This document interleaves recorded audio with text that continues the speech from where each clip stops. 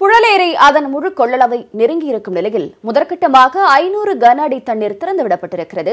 ஏரியில் இருந்து திறக்கப்படும் தண்ணீர் எந்தெந்த வழியாக பயணிக்கும் என்பதை வரைக்கலை மூலமாக விளக்குகிறார் எம்முடைய சிறப்பு செய்தியாளர் வெற்றி. சென்னைக்கு தண்ணீர் தரக்கூடிய ஏரிகளிலேயே இரண்டாவது பெரிய ஏரி புழல் ஏரி. இந்த ஏரியில மொத்தமா மூவாயிரத்தி முந்நூறு மில்லியன் கன அடி தண்ணியை தேக்க முடியும். அதாவது இதனுடைய மொத்த நீர்மட்ட உயரம் அப்படிங்கிறது இருபத்தொன்னு புள்ளி இருபது அடி.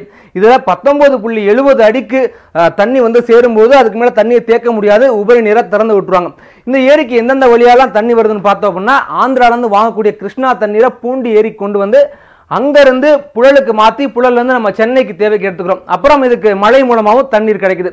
இப்போ இந்த ஏரியிலேருந்து திறக்கக்கூடிய தண்ணி கொசஸ்தலை ஆறு வழியாக பதினேழு கிலோமீட்டர் தூரத்துக்கு டிராவல் பண்ணி எண்ணூர் முகத்துவாரத்துக்கிட்ட அது கடலில் கலக்கக்கூடிய ஒரு நிகழ்வு இருக்குது இப்போ இந்த ஏரியிலேருந்து திறக்கக்கூடிய தண்ணி எந்தெந்த வழியாக எல்லாம் பயணிக்குது அப்படின்னு பார்த்தோம் அப்படின்னா நாரவரி நாரவரிக்குப்பம் வடகரை திருநீலகண்டன் நகர் பயசம்பாக்கம் மஞ்சப்பாக்கம் வடபெரும்பாக்கம் கொசப்பூர் அமுல்லை வாயில் மணலி சடையான்குப்பம் அப்புறம் அப்படியே டிராவல் பண்ணி போய் அது எண்ணூறு கிட்ட அது கடலில் கலக்குது இந்த ஏரி எப்போ கடைசியாக திறந்தாங்க அப்படின்னா ரெண்டாயிரத்தி பதினஞ்சு டிசம்பர் ஒன்றாம் தேதி. அதாவது சென்னை மக்களுடைய வாழ்க்கையில் மறக்க முடியாத நாள். அன்னைக்கு நீர் வரத்துங்கிறது ஒன்பதாயிரத்தி அறநூற்றி ஏழு கனடியாக இருந்திருக்கு. அப்போ ஐயாயிரத்தி நானூற்றி எழுபது கனடி தண்ணியை திறந்து விட்டுருக்காங்க.